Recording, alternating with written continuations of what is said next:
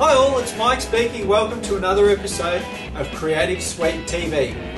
This time we're going to be having a look at InDesign and print. So if you're a printer or you're a designer that needs to print things or you're just a regular old InDesign user and you need to send things out to print, you need to check for a few things. Make sure your resolution's right, make sure the color space is right, and a whole bunch of other stuff. This episode is dedicated for you so that you can get your artwork right the first time. We're going to have a look at the live pre-flight, the links panel, a whole bunch of really cool stuff that's absolutely necessary for you to get the job done right the first time. Welcome to Creative Suite TV. I hope you get something out of these tips that I've got for you.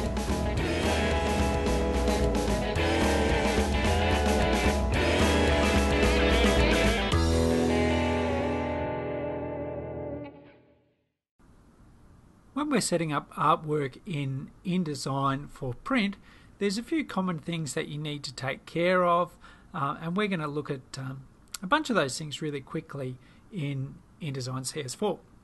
First of all, the Pages panel. You'll have a look over here in the Pages panel, and one thing that you might need to recognize is which pages can contain uh, transparency. So you can see beside some of these spreads over here, there is a little icon that indicates, yep, those particular spreads, they contain transparency. So then you can look at those uh, particularly with the transparency flattener or the flattener preview if that's in fact what you need to do. And there's only certain instances where you do need to have the document flattened.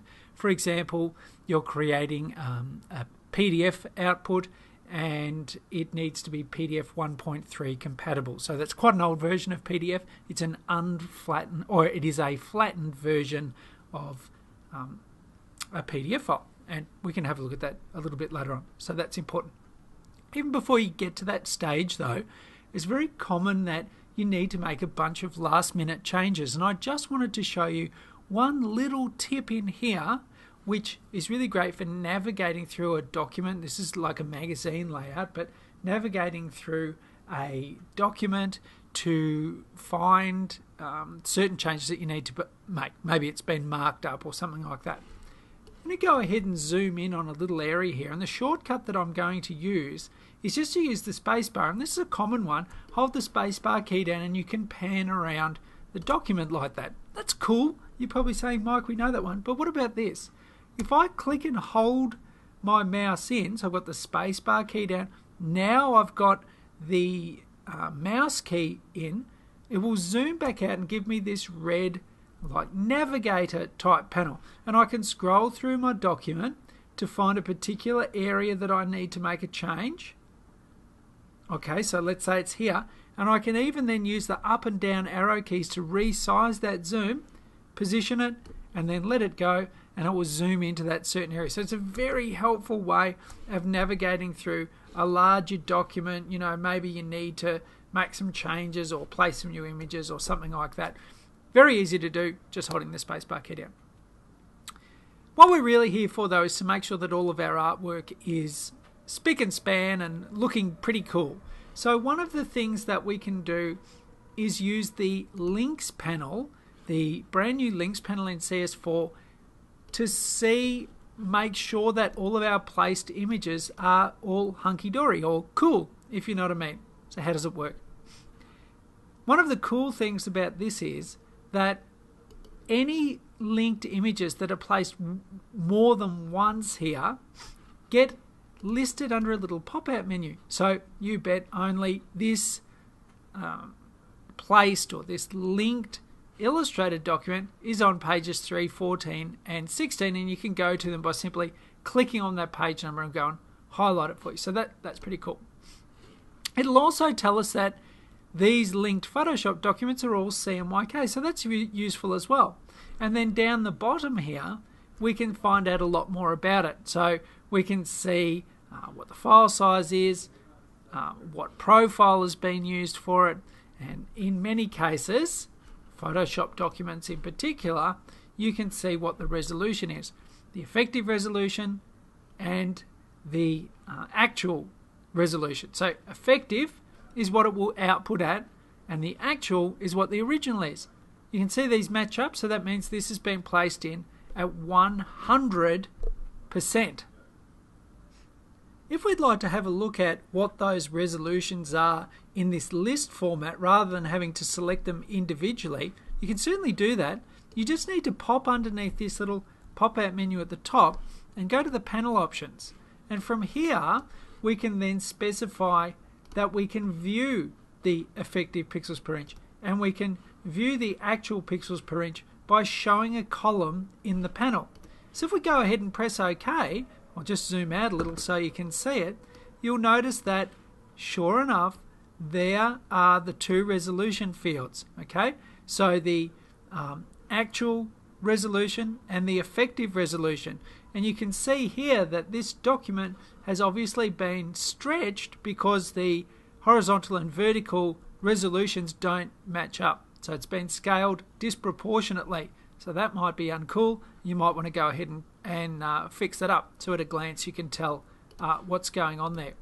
There are other ways though to see if your document's got problems. And what I'm talking about is the pre-flight panel.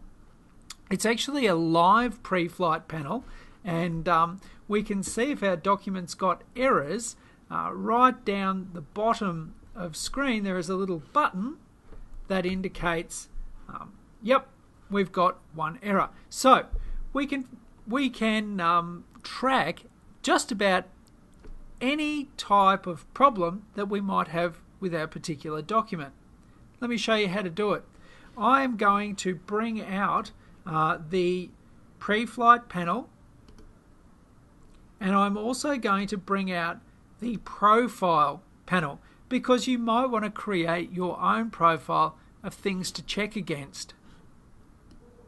We're most certainly not going to have a look at all of the options available in here, but we are going to create our own profile. You simply add the new button, and we're just going to call it Mike's Profile. This is the stuff that we're going to check against, so that's cool. And then we can get in and tick off a lot of this stuff, okay? Stuff that we need to check against. For example, are links modified or missing, standard issue, those ones. Color.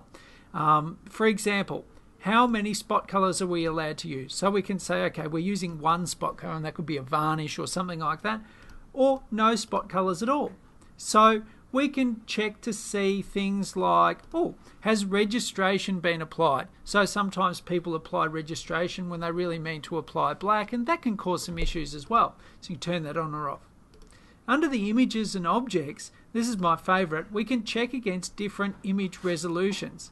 You simply turn this on and then you can check for both a minimum and a maximum resolution so that you know that nothing will be oversized, so you don't get a real blowout in file size, and then nothing's too small, which is probably going to be the major uh, problem. Something that something that designers hate is non-proportional scaling of place objects. So if something's been anamorphically scaled, we say, then that can have a stretched or skewed effect and not be um, uh, visually a desirable outcome. So you can check for those sorts of things. You can even check to see if there's bleed or trim hazards, minimum stroke weights, even moving on to things like um, particular size, minimum size uh, for fonts. Uh, one thing that's also great to check against is overset text. So if something has moved or pushed on, um, then please highlight or, or alert me to the fact that there are some overset text and we can go ahead and fix it. So that's kind of cool. You press OK, you make your own uh, profile, and then the pre-flight panel, you simply select your profile and then it will go ahead and check your document against all of that criteria. That's how it works. And then that way you can come back and make corrections as you're putting the document together rather than after the document's meant to be finished and miss your deadline. So here's how it works. We say we have one instance of overset text it tells us it's on page two. So you go ahead and click that. It's a hyperlink. And then right down the bottom there, it shows us, okay, we've got a little red plus sign. How do we fix it? Well, in this case, we'll just make the box a little bit bigger. And there we've gone ahead and fixed up what could have been a terrible pro- problem.